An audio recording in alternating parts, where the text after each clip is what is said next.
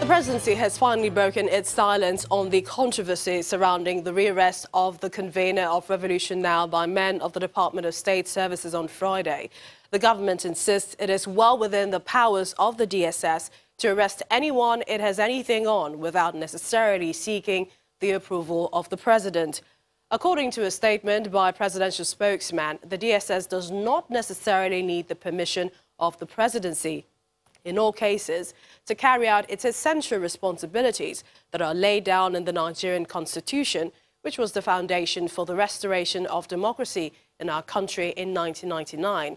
The statement further says the arrest of Mr. Sowore should not be a surprise to anyone since he is a person of interest to the service.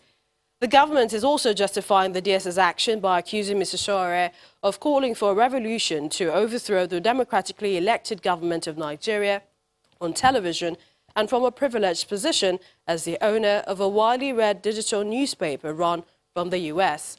As far as the government is concerned, the motive of the Revolution Now conveners is not any different from that of Boko Haram insurgents in the northeast, which the government insists also fancy themselves as fighting for some sort of revolution. The statement also notes that Mr. Sowore is no ordinary citizen expressing his views freely on social media and the internet since he was a presidential candidate who ran as a flag bearer of the African Action Congress on the February 23 general elections. But the United States government does not share the federal government's sentiment on the rearrest of Mr. Sowore, and the U.S. government made that clear through the Bureau of Democracy, Human Rights and Labor of the U.S. State Department. The Bureau on its Twitter handle says we are deeply concerned that Sowore has been redetained in Nigeria shortly after a court ordered he be released on bail. Respect for rule of law, judicial independence, political and media freedom, and due process are key tenets of democracy. This is coming as the Department of State Services denied the involvement of its operatives in the attempt to arrest Mr. Sowore and his co-accused, Mr. Olawale Bakare, within the premises of the Federal High Court in Abuja on Friday, December the 6th. Armed DSS operatives had invaded the court in an attempt to rearrest Sowore and Bakare, who were standing trial for treasonable felony and money laundering after releasing them less than 24 hours earlier. In the meantime, counsel to Mr. Sowore and human rights lawyer Mr. Femi Falana insists the DSS is guilty of desecrating the court in spite of the denial by the service. The DSS has, however, denied infiltrating the court. The service said it did not attempt arresting Sowore inside the court, alleging that his supporters only stage managed the drama to bring the service to disrepute. Debunking the claim by the SSS, Mr. Falana says not only did the SSS officials invade the court premises, causing the court to hurriedly end its activities, their leader also apologized to the judge. According to Mr. Falana, the presiding judge, Ijeoma Ojukwu, had summoned the head of the DSS team in her chambers and asked him to justify the invasion of the court, after which he reportedly offered an apology before he was asked to withdraw his men from the courtroom. Let's take you to other stories now. In spite of the victories against insurgents in the northeast region, many of the victims affected by the decade-long insurgency are still in dire need of rehabilitation. This is coming from some of the United Nations agencies providing humanitarian services in the region. The head of the UN Office for the Coordination of Humanitarian Affairs in the country, Mr. David Lubari, while reviewing activities in the region, says the agencies and the Yobe state government will continue to reach out to vulnerable persons in order to provide necessary rehabilitation where necessary. Yobe State in the northeast appears to have left the ravages of the Boko Haram insurgency behind. Previously internally displaced persons have left the IDP camps and many now reside in these 282 bedroom apartments built for them by the state government. As of today, we have uh, approved and the communities have implemented about 280 two-bedroom houses across those areas I have mentioned. And this has uh, helped them a lot in providing shelter over their head. Uh, Five ten, six ten. schools have also been built for the children of IDPs. The IDPs appear to have put their ordeals behind them as they appreciate the government's gesture. Boko Haram members killed my husband, and I fled here with my children and siblings. A plot of land was allocated to us by the Yobe state government, and they also supported us with funds to build this house. Before now, my family used to sleep in a leather tent, but today I have a house of my own. We have water and other social amenities. Our children have started going to school. So I call on the agency to do more so my other colleagues can also benefit. Government's efforts are often supported and complemented by United Nations agencies providing humanitarian services in the Northeast. This gathering of representatives of UN humanitarian agencies and Yobe indigents is here to chart a way forward. We work very strongly in partnership. The sectors, for example, are co-led by the line ministries in part to, and, and supported by the relevant United Nations organizations and international organizations. So this is how strong we work together, both in coordination and in we we conduct joint assessments, for example, take decisions, and uh, this is the this is how we should move forward.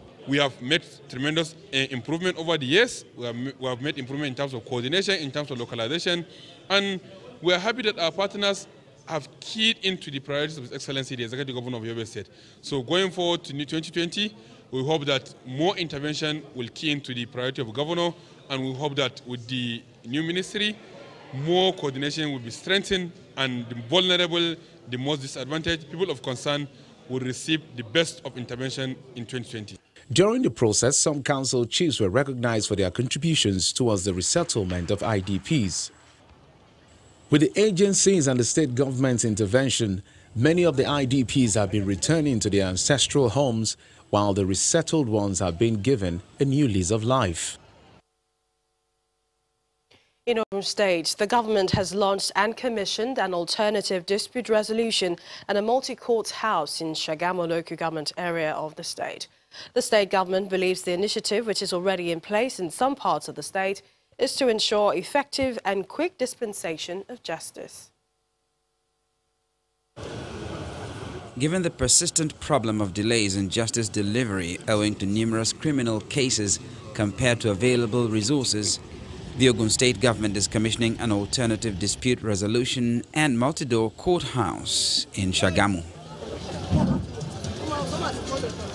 Members of the bench and the bar, mediators, conciliators, Traditional rulers as well as state government officials are here for the event, which marks a new dawn in the dispensation of justice in the state.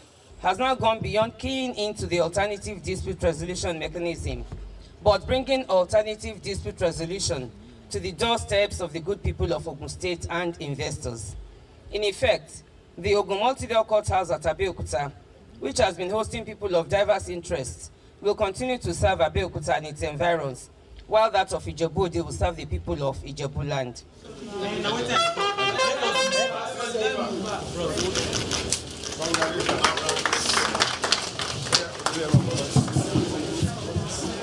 The people of Ogun State should key into it. In fact, I'm aware that uh, in Abeokuta, in Ijebu, people are assessing this court multi-door courthouse. When you say multi-door there are different doors to for you to settle your dispute without necessarily going through the rigors of our court system. Delay expenses and what have you.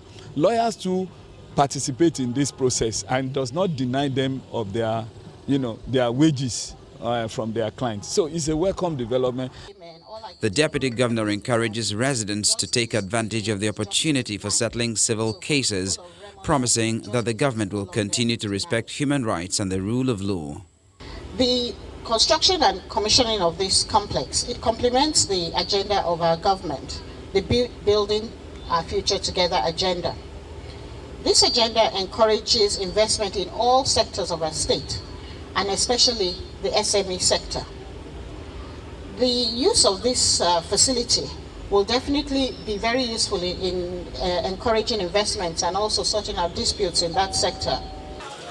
Globally, alternative dispute resolution is a widely used method of conflict resolution, the main advantage being the quick and less acrimonious means of settling disputes between conflicting parties. And now to some labour issues, or what some might call money issues. In spite of reports that university lecturers are refusing to be enrolled on the IPPIS salary scheme, the federal government says they are being registered. The Minister of Finance, Budget and National Planning, Mrs. Zainab Ahmed, told Channels Television's Ladia Kiriduluale on our current affairs program, Newsnight, that when the period for enrollments on the scheme expires, governments will stop paying salaries of those not captured on the program. Mrs. Ahmed says the registration period was extended because people were still being captured. IPPIS implementation has made tremendous progress. We have most of the agencies of government on IPPIS, including the Nigerian military and the police. We have the last batch of uh, five of the security agencies, which they're not large in number, uh, but they are also doing the enrollment now. We have federal polytechnics completely done. We have colleges of education, some of them done, some the, the uh, the capture process is ongoing as we speak. We have staff out in the field. We have the universities currently going, uh, undergoing the capture as well. Despite, yes, despite what you hear in the media, our staff are out there doing this capture. So I read what I hear, uh, what I see in the papers, and we just go on with the work. We don't believe in making a lot of noise. We just do the work. But at the end of the day, um, as our, as our staff are out in the field, if they come back to report that there is any of the institutions or any of the staff that refuse to be captured, then we will stop those salaries. We were to stop salaries in October, but because the capture was taking long, because you have to go to every institution, you have to see every staff, you have to uh, document them and do the capture, It was ongoing, we didn't implement. But we're at the stage now where we can say, okay, we, it is very clear there's this institution or that institution that is not cooperating, then we'll stop there. But universities have been captured as well as we speak. For the full interview with Mrs. Ahmed, do watch Newsnight tomorrow, Monday, December the 9th, 2019 at 9 p.m. only on Channels Television.